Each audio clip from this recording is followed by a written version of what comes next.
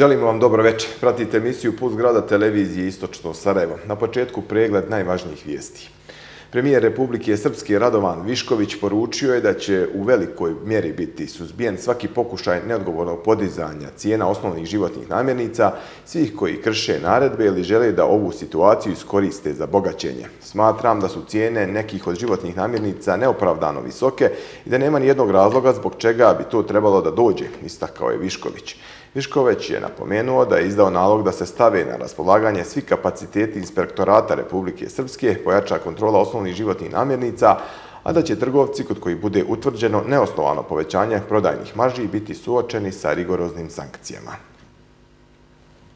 Predsjedavajući savjeta ministara Besne i Hercegovine Zoran Tegeltija izjavio je da u BiH postoji snažan interes za jačanje saradnje u energetskom sektoru sa kompanijama iz Norveške, kao i iz otvorenosti za regionalnu saradnju, poručivši da oni koji u Bosni i Hercegovini pokušavaju da blokiraju izgradnju hidroelektrane Bug Bijela, treba da shvate da to ne donosi nikome dobro. Govoreći na regionalnoj konferenciji u Beogradu o obnovljivim izvorima energije, Tegeltija je rekao da su u BiH svi svjesni značaja regionalne saradnje radi energetske bezbjednosti. Napomenuo je da su Srbija i BiH pokrenuli zajednički projekat Buk Bijela, da su u ovom trenutku odvijaju pripremni radovi, ali da zbog nekih unutrašnjih nesporazuma u BiH nije završen proces izgradnje. Direktor Kancelarije za vlade Srbije za Kosovo i Metohiju, Petar Petković, istakao je da odluka predstavnika Srpske liste da danas u Kosovskom parlamentu izvrše tehničku verifikaciju svojih mandata nikako ne znači vraćanje Srpske liste u prištinske institucije i da je time spriječen pakleni plan premijera samoproglašenog Kosova Albina Kurtija. Razlog verifikacije ovih mandata od poslanika Srpske liste jeste isključivo taj što smo došli do najnovijih saznanja da Kurti sprema pakleni plan osvete srpskom narodu na Kosovu i Metohiji, rekao je Petković. Naglasio je da je Kurtijev plan bio mjesta koja su zagarantovana za predstavnike Srpske liste u onim Srbima koji podržavaju Prištinu i Kurtija, a ne Beograd i srpski narod na Kosovu i da je riječ o predstavnicima srpskih političkih partija koji su na nivou statističke greške. Puz nastavljamo aktualnostima iz Istočnog Sarajeva.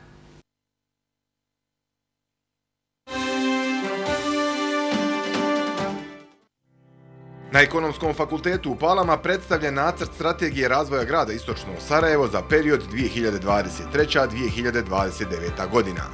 Policijski službenici Policijske uprave Istočno Sarajevo organizovali Dan otvorenih vrata.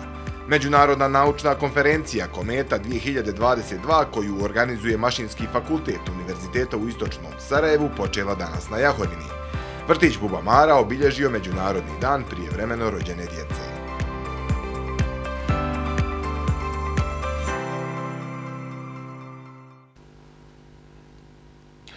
Na ekonomskom fakultetu Univerziteta u Istočnom Sarajevu danas je predstavljen nacrt strategije razvoja Istočnog Sarajeva za period 2023-2029 godina. Nosioci izrade strategije su ekonomski fakultet u saradnji sa gradskom upravom. Strategija razvoja grada Istočno Sarajevo za period 2023-2029 godina trebalo bi da predstavlja ključni strateški dokument na kojem bi trebalo da budu bazirane društveno-ekonomska, socijalna, turistička, kao i sve ostale komponente razvoja Istočnog Sarajeva. Dekan Ekonomskog fakulteta Univerziteta u Istočnom Sarajevu Marko Đogo rekao je da je nacrt strategije izradio stručni tim ove visokoobrazovne ustanove. Ekonomski fakultet Pale eh, je ostvario vrlo konkretnu saradnju sa gradom i sa opštinom Pale i sa drugim opštinama u okviru grada, eh, gdje smo svoje eh, intelektualne kapacitete stavili u razvoj jednog dokumenta koji će imati uticaj na život svih građana Istočnog Sarajeva. Predviđeno od izgradnje adekvatne infrastrukture do statusa grada i njegove administracije, razvoja posebno akcija stavljena u jedno dijelu na turističko-poljoprivredni klaster, dakle na izgradnju, na stavljanje turističke destinacije u slučaju glavnom Jahorine, ali i ravne plane i drugih destinacija u funkciju razvoja poljoprivredne i prehrambene industrije na ovom regiji. Dakle, ima tu zaista mnogo stvari o kojima se treba razgovarati. Rješenja su ponuđena danas, ta rješenja su najbolje ono što smo u ovom trenutku mi znali da uradimo, međutim, naravno, svi smo mi ljudi, svi griješimo, ne posjedimo svi sve moguće informacije i nakon izvjesnog vremena bit će naravno prilike da se ta procijeni ostvarivanje strategije i da se radi njeno updateovanje, odnosno njena modernizacija u skladu sa informacijama koje budemo posjedovali. Gradonačelnik Istočnog Sarajeva Ljubiša Ćosić rekao je da će Gradska skupština već 20. decembra diskutovati o nacrtu strategije i da je važno da ovaj dokument bude u potpunosti provediv. Zahvalio je akademskoj zajednici za izradu strategije i istakao da je još jedan značajan segment jačanje identiteta, brenda i imidža Istočnog Sarajeva. Grad Istočno Sarajevo je jako specifičan sa svojih šest opština, jedini grad u Republici Srpskoj i kao takav e, prilikom izrade strategije koja je ključni dokument kako treba grad da se razvija i njegove opštine, trebalo je voditi računa i mislim da onih pet strateških ciljeva koji su postali u ovom nacrtu, a što će biti danas prezentovano je jako dobro. Kao što je dekan rekao, e, brojne su oblasti u kojima treba da istaknemo naše komparativne prednosti.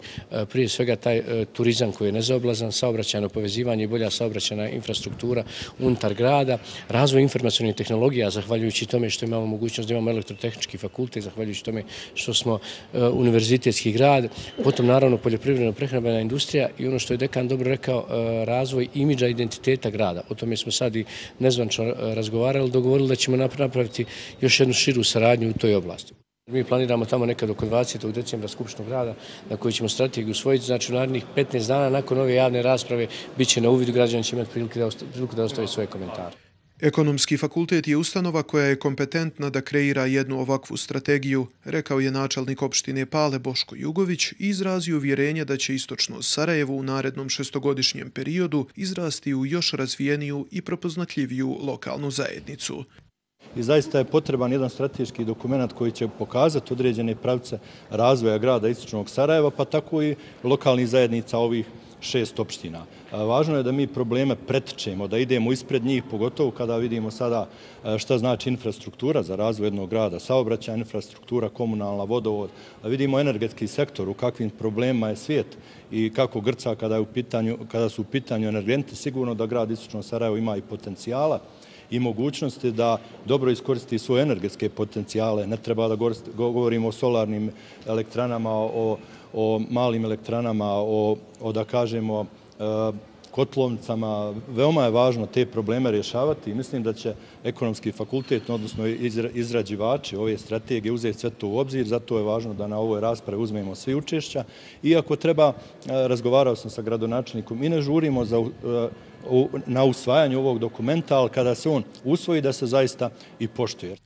Nosioci izrade strategije razvoja grada Istočno Sarajevo za period 2023-2029 godina su ekonomski fakultet u saradnji sa gradskom upravom, a iz ovih institucija pozivaju sve građane da učestvuju u javnoj diskusiji sa ciljem unapređivanja strategije. Ovaj strateški razvojni dokument dostupan je na sajtovima fakulteta i grada Istočno Sarajevo, a svi stanovnici mogu da upute eventualne sugestije i primjedbe.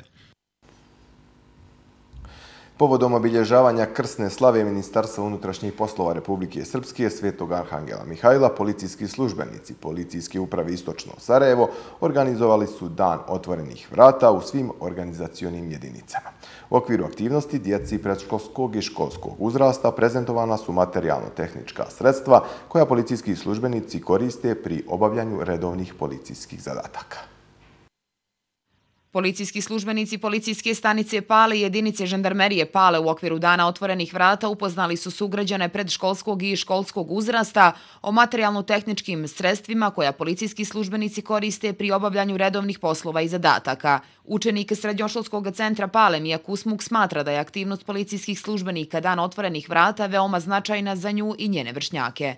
Smatram da treba da se ovo dešava češće, da bi mi mogli da nam se stvori ta neka savjest prije svega o oružju, da shvatimo da je oružje opasno i da sa njim ne može svako rukovati, a isto tako da nas i nauče čemu koje oružje služi, jer možda neko odluči da postane poucajac ili vojnik ili tako nešto slično i smatram da je ovo veoma edukativnog karaktera. Port parol policijske uprave Istočno Sarajevo Vesna Stokanović izjavila je da uprava u svim organizacionim jedinicama organizuje dan otvorenih vrata. Stokanović dodaje da je ovo prilika da policijski službenici pokažu da su na usluzi građanima, posebno najmlađima. Ova aktivnost organizovana je povodom obilježavanja krsne slave Ministarstva unutrašnjih poslova Republike Srpske Svetog Arhangela Mihajla. Također organizovali smo e, niz aktivnosti e, povodom krsne slave. E, danas se završava dvodevna akcija dobrovoljnog darivanja krvi, gdje su naši pripadnici darovali ovu dragocenu tečnost našim sugrađanima. Evo cilj i ove danas aktivnosti jeste da približimo policijsku profesiju našim sugrađanima u cilju što bolje saradnje i povjerenja, pa smo tako i krenuli od naših najmlađih. Rukovodstvo policijske uprave Istočno Sarajevo sutra će u Palama prigodnim svečanostima obilježiti Aranđelov dan krsnu slavu MUPA Republike Srpske. Međunarodna naučna konferencija Kometa 2022 koju organizuje Mašinski fakultet Univerziteta u Istočnom Sarajevu počela je danas na Jahorini, a okupila je oko 300 učesnika iz 25 država. Konferencija će trajati do subote, a učesnici će imati priliku da razmijeni iskustva iz oblasti istraživanja i primjeni novih tehnologija i razvoja mašinskih sistema. Ovogodišnja međunarodna naučna konferencija primjenjene tehnologije u mašinskom inženjerstvu Kometa 2022 šesta je po redu i organizovana je u sedam različitih sekcija. Domaćin konferencije već tradicionalno je Mašinski fakultet Univerziteta u Istočnom Sarajevu, a dekan Milija Krajišnik ističe da su na Jahorini prisutni brojni domaći, regionalni kao i svjetski stručnjaci iz oblasti mašinskog inženjerstva. Prijavljeno je bilo oko 120 radova, Eh, recenzenski tim koji čini skoro 80 recenzenata iz 3-4 eh, države u regionu sa preko dva, eh, koji dolaze sa preko 20 univerziteta nije mogao da prihvati sve radove. U zborniku radova bit će objavljen 101 rad i bit će objavljena četiri plenarna izlaganja naših eminentnih profesora koji dolaze iz Slovenije, Hrvatske, Srbije i Grčke. Eh, ono što je zanimljivo eh, da ova konferencija praktično eh, okuplja rekordan broj učesnika sa međunarodnog aspekta. Naime, 300 autora i koautora dolazi iz 25 zemalja svijeta. To je svakako rezultat naših aktivnosti koje smo, koje smo se odvijali u prošlosti u smislu međunarodne vidljivosti konferencije, u smislu podzanja njenog ugleda i rejtinga, dakle ne samo regionalni, već i u širijim međunarodnim krugovima. Jedan od gostiju i učesnika konferencije je i profesor na Mašinskom fakultetu Univerziteta u Mariboru Tomaž Vuherer, koji je prisutne upoznao sa eksperimentima koji se provode u laboratoriji Slovenačkog fakulteta. Vodim e, laboratorij za zavarivanje i tu smo se dogovorili za plenarno predavanje koje ću držati na konferenciji. Sad sam prvi put e, par kolega sa kojima sarađujem u Srbiji i u Bosni ovako rekli mi je za to konferencija, onda smo na, na, na, na, našli skupni jezik i ovako se dogovorili za ta predavanje. Inače, u našoj laboratoriji radimo puno eksperimenta gde odredimo svojstva materijala i te, te stvari, tako da verovatno će biti interesantno. Neki od ciljeva konferencije su saradnja sa akademskom zajednicom, naučno-istraživačkim institucijama i prije svega sa privrednim subjektima kako bi se stvorilo bolje okruženje za intenzivni industrijski razvoj. Učesnici će imati priliku da razmijene iskustva iz oblasti istraživanja i primjene novih tehnologija i razvoja mašinskih sistema. Konferencija će trajati do subote 19. novembra. Povodom obilježavanja Međunarodnog dana prije vremena rođene djece, mališani i vaspitači vrtića Bubomara iz Pala su s pjesnice podrške i nezbježne ljubičaste balone obilježili jedan od važnih datuma za čovječanstvo. Dan posvećen prijevremeno rođenim bebama obilježava se od 2008. godine u cilju podizanja svijesti o svim izazovima sa kojima se susreće nedonošće i roditelji. Ljubičasta boja koja predstavlja osjetljivost postala je simbol za obilježavanje ovog važnog datuma za čovečanstvo, pa su tako predškolske ustanove i škole u Istočnom Sarajevu bili obasjani najljepšim ljubičastim tonovima. U bolnici Srbija u Istočnom Sarajevu u ovoj godini bilo je sedam prijevremenih poroda. Međunarodni dan prijevremeno rođene djece obilježili su mališani i vaspitači vrtića Bubamara sa Pala.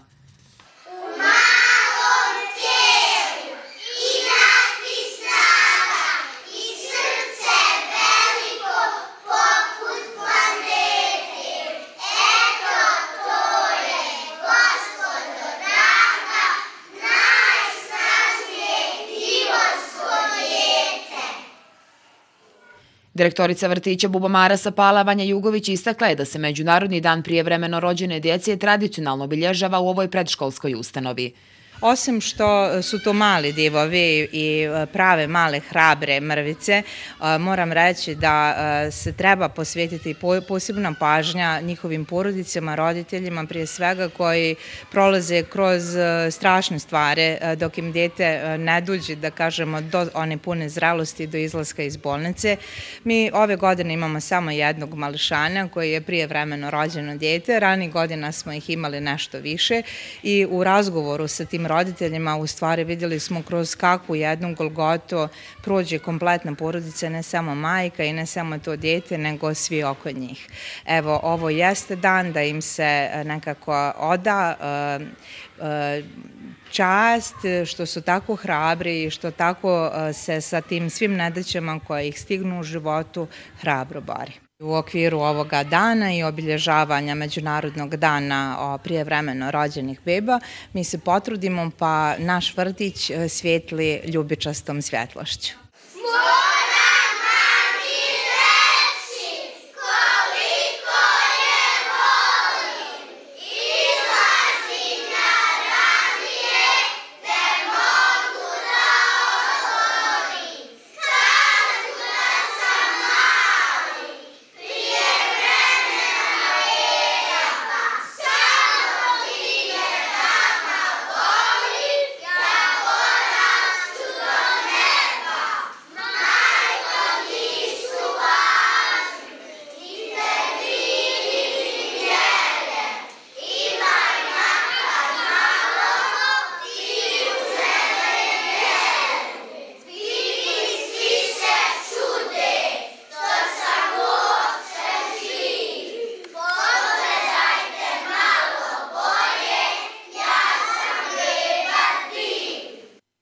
Pozivom na humanitarni broj 1412 u novembru donirate jednu konvertibilnu marku za otvaranje i završetak Centra za edukaciju i afirmaciju prijevremeno rođene djece i omladine pod nazivom Moj mrvičasti kutak u Banja Luci.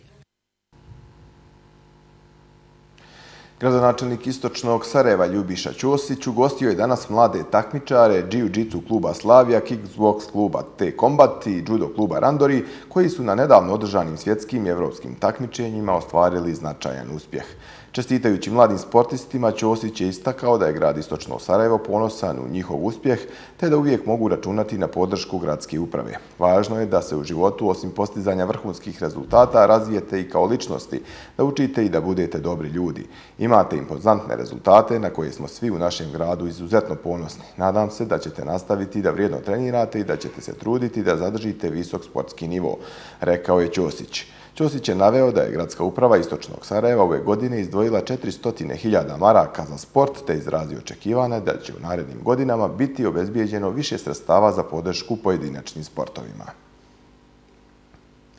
U osnovnoj školi Srbije danas je održano opštinsko takmičenje iz poznavanja pokreta Crvenog krsta. Prvo mjesto na takmičenju zauzijeli su učenici osnovne škole Mokro, drugo učenici osnovne škole Srbije i treći učenici osnovne škole Pale.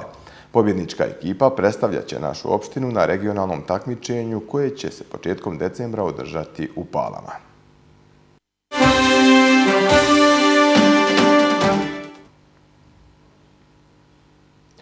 U nastavku emisije o aktuelnostima iz ostalih opština i gradova Republike Srpske. Srebrenički srednjoškolski centar dobio je hiljadu konvertibilnih maraka donacije od područne privredne komore Bijeljina koja treba da omogući nabavku sredstava za stvaranje boljih uslova za izvođenje praktične nastave u školi za učenike pekarske struke. Direktor centra Sanja Močević izjavila je da će ova značajna donacija koristiti za obezbeđivanje kvalitetnije praktične nastave za džake koji pohađaju pekarski zanat, što je jedno od deficitarnih zanimanja na ovom prostoru. Sredstva su dodijeljena u okviru projekta unapređenja izvođenja praktične nastave za deficitarna zanimanja.